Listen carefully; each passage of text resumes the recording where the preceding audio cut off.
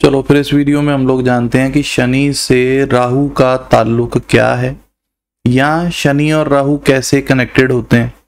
और उसके साथ साथ शनि मंगल की मदद से राहु को कैसे अलाइन रखता है, कैसे ट्रैक पे रखता है, और इन तीनों प्लैनेट्स की एनर्जीज को हम लोग अपनी लाइफ में कैसे यूटिलाइज करते हैं।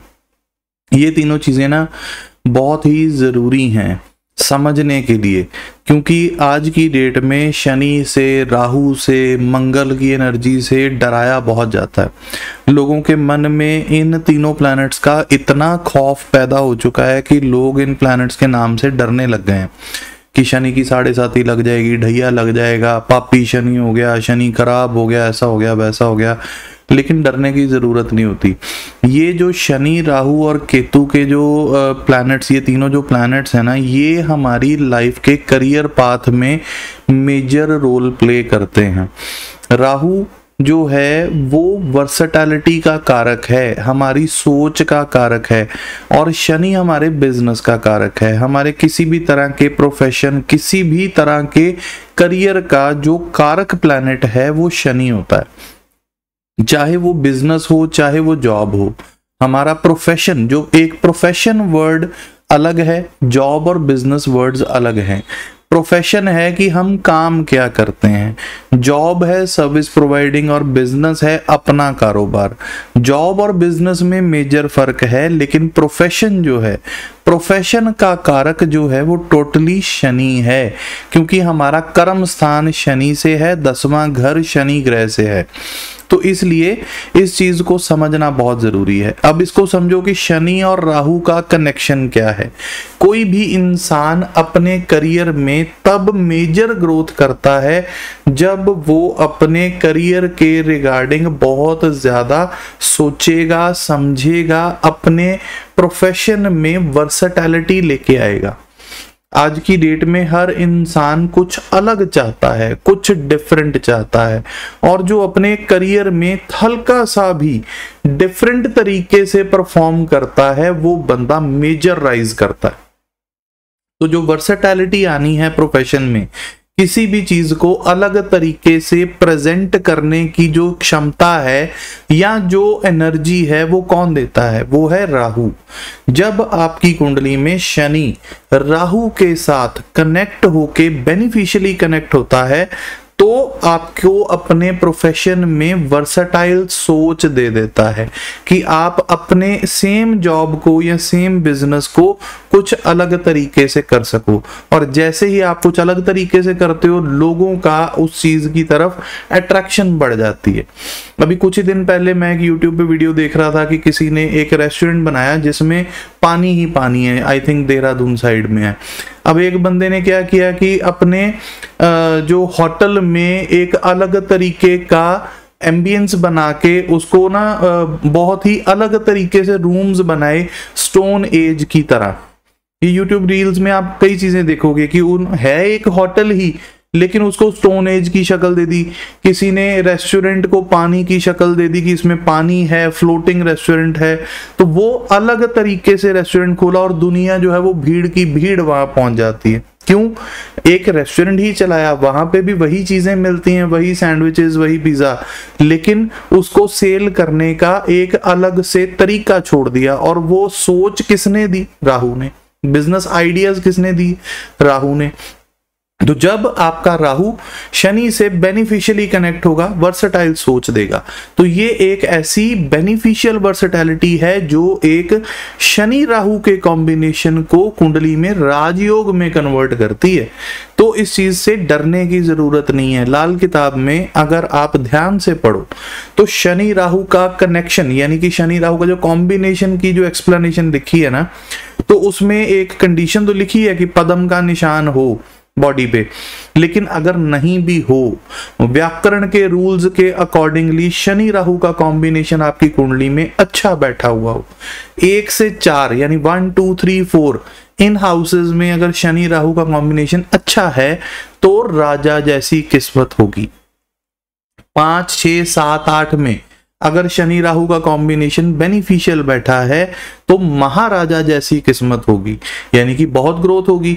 और अगर 9 10 11 12 में शनि राहु बैठा है तो लिखा है योगी होगा। योगी का मतलब क्या है? अब योगी को लोग सिर्फ़ साधु सन्यासी समझ लेते हैं, लेकिन ऐसा नहीं है। योगी का मतलब है, ऐसे इंसान को पैसे से मोह नहीं रहेगा। पैसे से मोह ना रहने का मतलब क्या है? दो चीज़ें। या तो बिल्कुल ही पैसा नहीं होगा कि मोह नहीं है, और या फिर इतना पैसा होगा कि पैसे की तरफ़ ध्यान ही नहीं है।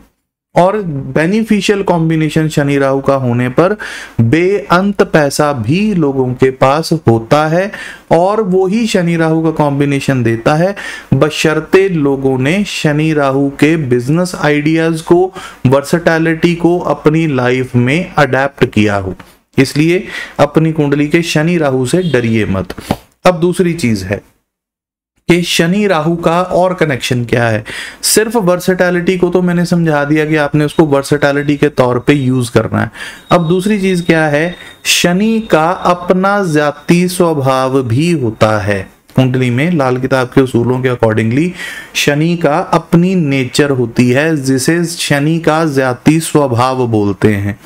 उसमें अगर आप, आपको मोटा मोटा बताऊँ तो अगर थ्योरी वाइज अगर कुंडली में केतु पहले घरों में है, राहु बाद में बैठा है तो शनि का जातीय स्वभाव नेक समझा जाता है कि शनि अच्छा है।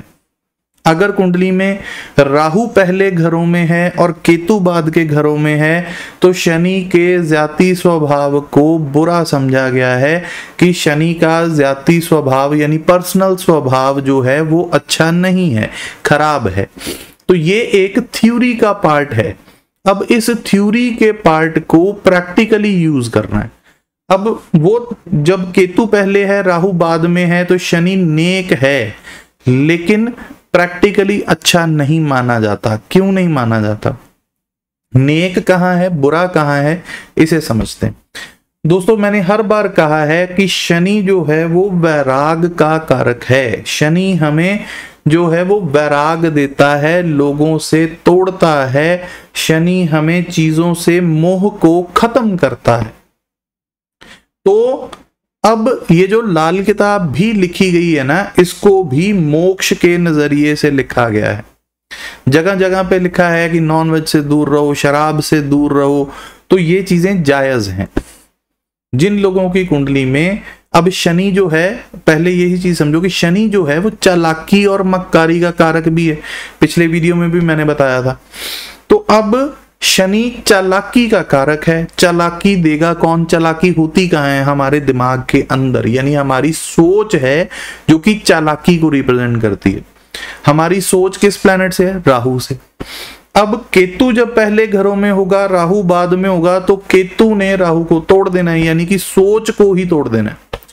तो जब केतु पहले घरों में होता है, राहु बाद के घरों में होता है, ऐसा इंसान ज़्यादा चालाक या मक्कार नहीं हो पाता। उसकी चालाकी जो है वो ज़्यादा काम नहीं आती। तो चालाकी क्या है? शनि, जब इंसान चालाकी ही नहीं कर पाएगा तो वो बहुत ज़्यादा नेक और साधु स्वभाव का इंसान हो जाएगा। लेकिन ऐसा नेक और साधु स्वभाव का इंसान जो है बिज़नेस में ज़्यादा राइज नहीं कर पाता। ऐसा इंसान लोगों के भले करने के चक्कर में खुद के नुकसान करवा लेता है। ऐसे इंसान की पेमेंट्स स्टक हो जाती हैं पेमेंट्स डूब जाती हैं। लोग उससे, उसी के बिज़नेस आइडियाज़ लेकर के, खुद पहले करके उसका फ़ायदा उठा जाते हैं। ऐसा इंसान लोगों की गारंटी के चक्कर में फंस जाता है। ऐसा इंसान जो है, वो बहुत ज़्यादा मेहनत करने के बावजूद भी उतने प्रैक्टिकल रिजल्ट्स नहीं ले पाता। ऐसे इंसान को ऐसी एक गॉड्स ग्रेस की वजह से ऐसी एक सोच बन जाती है कि रोटी पानी अच्छे से चल रहा है सफिशिएंट है। कि मुझे अपने बिज़नेस को बहुत ज़्यादा ग्रोथ ही नहीं करानी जितना चल रहा है, ठीक है। तो ये शनि का ज़्यादा नेक स्वभाव है, केतु पहले, राहु बाद में। और प्रैक्टिकल में जब हम उल्टा चलते हैं कि राहु पहले घरों में हो, केतु बाद के घरों में हो, और शनि जो है वो कहीं भी हो तो उसका जाति स्वभाव खराब हो गया। राहु पहले, केतु बाद में, शनि का जाति स्वभाव खराब। लेकिन प्रैक्टिकल में ऐसा इंसान अपने बिज़नेस में बहुत ज़्यादा ग्रोथ करता है। कैसे करता है? राहु पहले है, केतु बाद में है। राहु हमारे सोच है, शनि की चालाकी तो है, लेकिन आनी राहु से है। तो राहु पहले है, केतु बाद में है। राहु ने केतु को ऑर्डर करना है। हमारे दिमाग की सोच ने केतु यानी इंप्लीमेंट को ऑर्डर किया कि ये चीज़ करो। अब शनि का जाति स्वभाव खराब, यानी इंसान चलाक है। तो वो चलाकी की वजह से अपनी सोच को जब इंप्लीमेंट कर देगा कारोबार में वो चीज़ों को, अपनी वर्सेटाइल वर्सेटाइलिटी को वर्सेटाइल आइडियाज़ को नई नई चीज़ों को इम्प्लीमेंट जब कर देगा तो शनि की चालाकी भी काम आएगी। कब करना है, कैसे करना है, वो चीज़ें भी वो इंसान इस्तेमाल कर लेगा। तो ऐसे में वो अपने बिज़नेस को बहुत ज़्यादा हाइट पे ले जाता है, अपने बिज़नेस को बहुत ज़्यादा ग्रो करा लेता है और ग्रोथ होती भी है। अब ऐसे में, ऐसे इंसान की आप शनि के जाति स्वभाव को बुरा नहीं कह सकते। जो इंसान बिज़नेस में बहुत ग्रोथ कर रहा है, उस इंसान को हमेशा दुनिया अप्रिशिएट करती है। तो थ्योरी वाइज चाहे, राहु पहले हो, केतु बाद में हो, शनि का जाति स्वभाव मंदा है, लेकिन प्रैक्टिकल टर्म्स में राहु का पहले होना, केतु का बाद में होना, इंसान के करियर प्रोफेशन के लिए बहुत ज़्यादा फ़ायदेमंद होता है। इसलिए शनि और राहु की जो एनर्जीज हैं, उनको प्रैक्टिकली अडेप्ट करके उनको यूज़ कीजिए, अपने बिज़नेस में वर्सेटैलिटी लाइए, उसमें सोचिए अलग अलग तरीकों से अर्निंग्स को एड ऑन करने के लिए सोच बनाइए।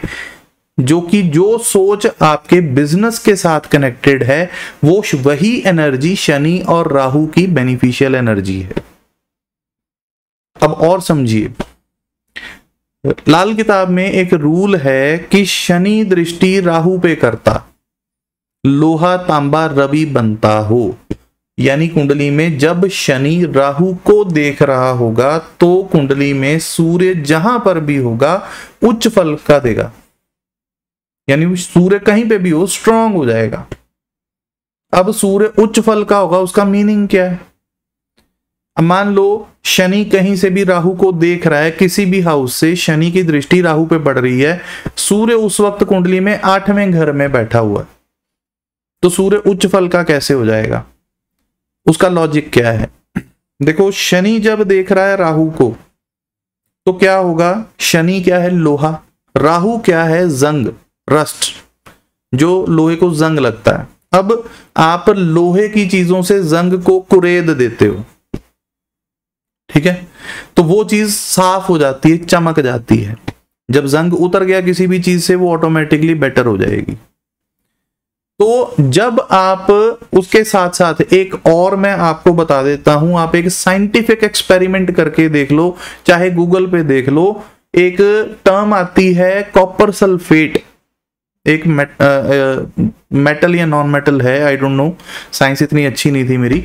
लेकिन नीला थोथा उसे बोलते हैं कॉपर सल्फेट ब्लू कलर का होता है कॉपर सल्फेट या नीला थोथा जो है वो राहु की आइटम है इलेवेंथ हाउस की। तो वो राहु है अब उसको पानी में घोल लीजिए उसमें लोहे का कील डालिए तो तांबा उस पर जमा हो जाएगा। यानी कॉपर सल्फेट जो नीला थोथा है उसमें से तांबा एक्सट्रैक्ट करते हैं। तांबा किसका है? सूर्य का। और किसकी मदद से करते हैं? लोहे की मदद से। शनि, राहु। लोहा जब आप कॉपर सल्फेट यानी नीले नीले थोथे के सोल्यूशन में डालोगे, तांबा निकल आएगा, यानी कि सूर्य निकल आएगा।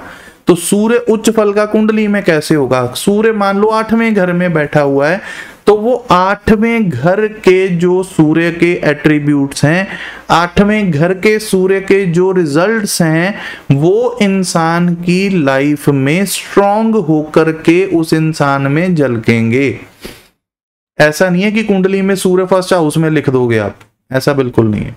या फ़र्स्ट हाउस सूर्य के जो सिम्टम्स हैं, वो इंसान को मिलने शुरू हो जाएँगे, नहीं। सूर्य कुंडली में जहाँ पर जिस घर में होगा, उस घर के जो रिजल्ट्स हैं, उसमें स्ट्रेंथ बढ़ जाएगी। इस चीज़ को समझो। अब दूसरी चीज़ क्या है कि इसी टर्म को उल्टा लिखा है कि अब जब राहु कुंडली में शनि को देखे, राहु जब कुंडली में शनि को देख लेगा तो राहु मंदा खुद होता हो। राहु दृष्टि जब शनि पर करता, राहु मंदा खुद होता हो। यानी जब राहु शनि को देखेगा तो राहु खुद खराब हो जाएगा। ऐसे में क्या होगा कि शनि भी पापी हो जाएगा। स्टार्टिंग में हमने समझा था कि जब भी शनि को राहु या केतु का दृष्टि संबंध मिले या किसी भी तरीके से शनि का राहु केतु से ताल्लुक हो जाए तो शनि पापी हो जाता है। अदरवाइज़ शनि पापी नहीं है। तो जब दृष्टि राहु की पड़ेगी शनि पे तो वो शनि खुद खराब होगा। यानी कि ऐसे इंसान का शनि पापी शनि कंसिडर किया जाएगा। और ऐसे में राहु खुद भी मंदा होगा। वो कैसे मंदा होगा कि ये समझो कि जंग लोहे को खाता है। जंग क्या है? राहु, वो लोहा क्या है? शनि। तो राहु ने जब शनि को देखा, जंग चढ़ गया लोहे के ऊपर। और जंग लगा हुआ लोहा किसी काम नहीं आता। और जब जंग, यानी राहु जो है, वो शनि को खाया जाएगा। बहुत ज़्यादा आप एक लोहे की चीज़ को बहुत देर तक जंग लगा रहे रेगुलर लगा रहे तो वो लोहा अंदर ही अंदर से नष्ट हो जाता है। और जब वो लोहा भी अंदर से नष्ट हो जाता है तो जंग भी किसी काम का नहीं, वो राहु भी किसी काम का नहीं रहता। तो ऐसे केसेस में, जिन लोगों की कुंडली में राहु शनि को देख रहे, देख रहा होता है वो लोग अगर अपने कारोबार में बहुत ज़्यादा पंगे लेना शुरू कर देते हैं तो तब भी वो अपने बिज़नेस को खराब कर लेते हैं। अगर जेन्युन तरीके से बहुत कम वर्सटैलिटी वो लोग अपनी कुंडली में इस्तेमाल करेंगे, अपने बिज़नेस में इस्तेमाल करेंगे, तब तक तो जायज़ है। लेकिन अगर ऐसे लोग अपने बिज़नेस में बहुत ज़्यादा पंगा लेना शुरू कर देंगे तो बिज़नेस को डुबा भी लेते हैं। इसलिए अगर शनि राहु को देख रहा है तो वर्सेटैलिटी का इस्तेमाल करो लिमिट में, लेकिन अगर राहु शनि को देख रहा है तो बिज़नेस चेंज भी आता है जॉब चेंज भी आता है, लेकिन बहुत ज़्यादा चेंजेस ले आने की वजह से बिज़नेस खराब भी हो सकता है। अब अगर राहु शनि को खराब कर रहा हो तो आपको क्या करना है, सफ़ाई कर्मचारी को शनि की चीज़ें देते रहिए। कोई भी सफ़ाई कर्मचारी हो, उसको दीजिए शनि राहु को ठीक करने के लिए या बैलेंस रखने के लिए। एक आइटम लाल किताब में ज़िक्र है, सांपों का जहर चूसने वाला मन का। सपेरों से मिलता है। सांपों का जहर चूसने वाला मन का अगर मिल जाए तो उसको स्थापित करके रखो। सिर्फ़ तब स्थापित करो अगर शनि राहु आपकी कुंडली में बेनिफिशियल है। वो कुंडली देख के पता चलता है। और उसको प्रॉपर ग्रामर की टर्म्स लगा के पता चलता है कि शनि का सांप का जहर चूसने वाला मन का रखना है या नहीं रखना। और अगर बेनिफिशियल है तो वो मन का पास रखने से बहुत फ़ायदा होगा। और अगर शनि राहु खराब हैं तो वही मन का रखने से लॉसेस भी होंगे। ऐसे इंसान को जिनका शनि का राहु से ताल्लुक आई होप आपको काफ़ी हद तक समझ आ गया होगा। अब मंगल से क्या कनेक्शन है और राहु से कैसे अलाइन करना है, ये वीडियो बहुत लंबा हो जाएगा। अगले वीडियो में हम लोग शनि राहु के बारे में और शनि मंगल के बारे में, साथ ही साथ शनि केतु के बारे में और चर्चा करेंगे। तब तक इस वीडियो के बारे में कमेंट्स ज़रूर करिएगा और मुझे ज़रूर बताइएगा कि ये तरीका आपको कैसा लग रहा है और जो लोग हॉरोस्कोप दिखाना चाहते हैं, मेरे नंबर पर कॉन्टैक्ट करें। बहुत बहुत शुक्रिया वीडियो सुनने के लिए। धन्यवाद।